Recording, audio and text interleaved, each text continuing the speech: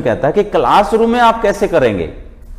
अनुशासन को फॉलो देखिए, कहता है क्लासरूम में भी समय से पहले पहुँचने का प्रयत्न कीजिए। जैसे आपकी क्लास स्टार्ट होती है सुबह आठ बजे, नौ बजे या दस बजे तो उससे पाँच या दस मिनट पहले ही पहुँचने का प्रयास कीजिए।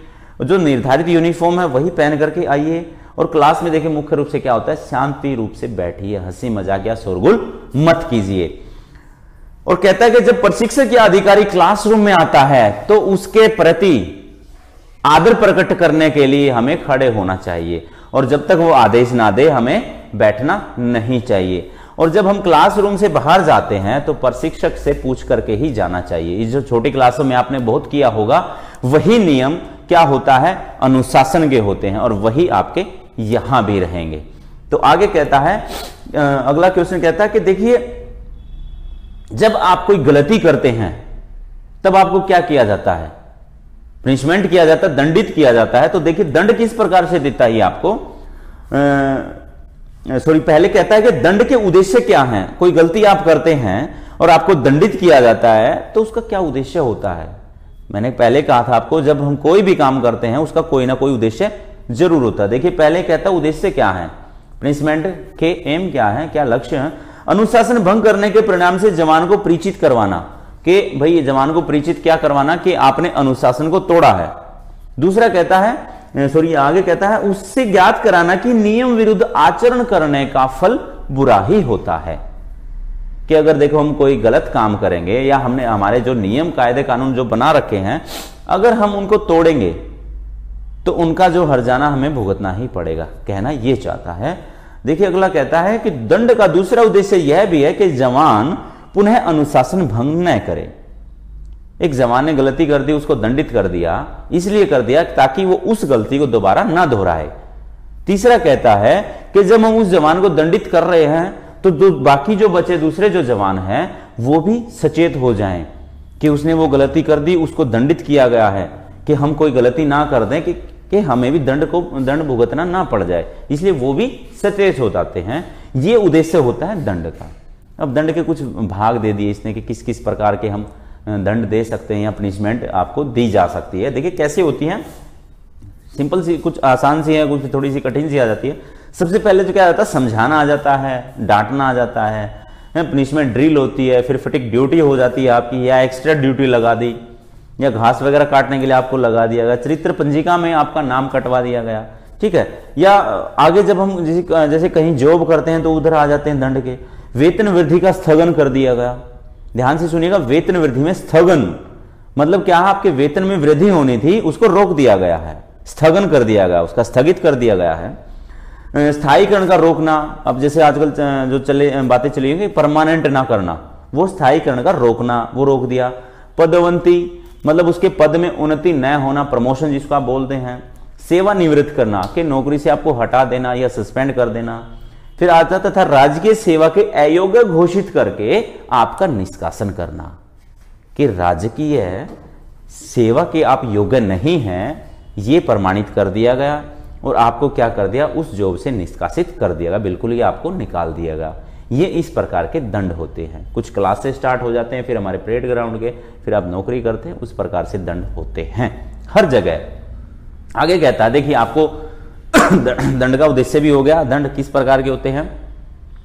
तो अवार्ड की भी हमें बात करनी चाहिए, पुरस्कार की भी हमें बात करनी चाहिए कि ऐसा तो नहीं है कि सभी के सभी दंड के पात्र होते हैं। कुछ ऐसे भी लोग होते हैं, महानुभव ऐसे भी होते हैं जो ऐसा काम करते हैं कि उनको पुरस्कृत भी किया जाता है।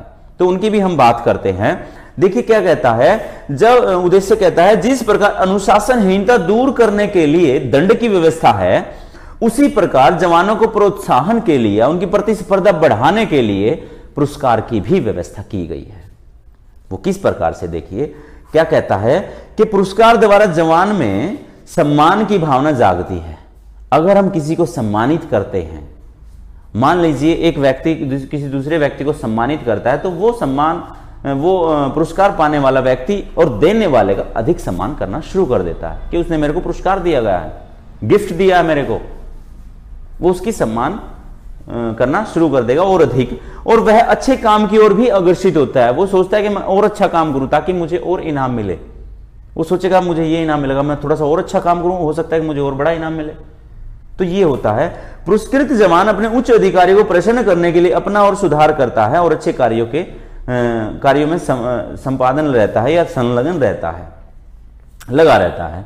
और इससे क्या होता है, विभाग का अनुशासन भी ठीक तरह से बना रहता है। आगे देखिए कुछ पॉइंट और कहता है ये कि पुरुष पुरस्कृत जवान को देखकर अन्य जवान भी अपने आप को श्रेष्ठ दिखाने की कोशिश करते हैं या अपना जो काम है उसको अधिक से अधिक अच्छा करने की कोशिश करते हैं।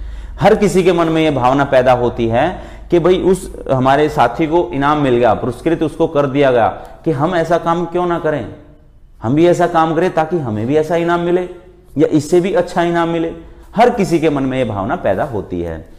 देखिए क्या कहता है, पुरस्कार द्वारा उन व्यक्तियों की तुलना में अपने श्रेष्ठता अनुभव करने के कारण जवानों में प्रतिस्पर्धा की भावना भी जागती है, कि एक दूसरे से प्रेरित होते हैं और ऐसी भावना जागती है कि हम भी ऐसा काम करें।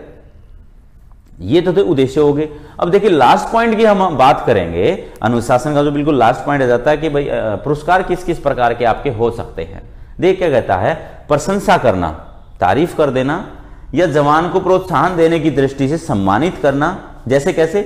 प्लाटून या लीडर क्लास का लीडर बना दिया है या खेल का कैप्टन बना दिया गया दूसरा कहता है कि चरित्र पंजिका में प्रशंसनीय कार्य का प्रविष्टि अंकित करवाना कि उसके नाम के साथ बीच ने ये काम किया है और, और उसका ये नाम है वो अंकित करना। उसके बाद कहता है कि धन द्वारा पुरस्कृत करना कि धन उसको प्रदान करना सम्मान पट पर उसका नाम लिखना अंकित करवाना। उसके बाद कहता है पदोन्नति कि उसके पद में उन्नति करना, प्रमोशन आप जिसे कहते हैं, नॉर्मल भाषा में आजकल, प्रमोशन करना है, पद की उन्नति होना। लास्ट पर हम पॉइंट की बात करेंगे तो देखिए क्या कहता है, कि एक पदक होता है जिसे हम कह देते सम्मानित पदक हो जाता है, ठीक है? और खासकर जो फायर सर्विस की हम बात करें तो उसमें होता है अग्निशमन सेवा पद से उसको पुरस्कृत करना। तो ये इस प्रकार के हमारे क्या है पुरस्कार के अलग अलग नाम होते हैं, इस प्रकार से जो अच्छा काम करता जो व्यक्ति या जो जवान, उसको पुरस्कृत किया जाता है। तो ये हमारी बातें होगी, अनुशासन।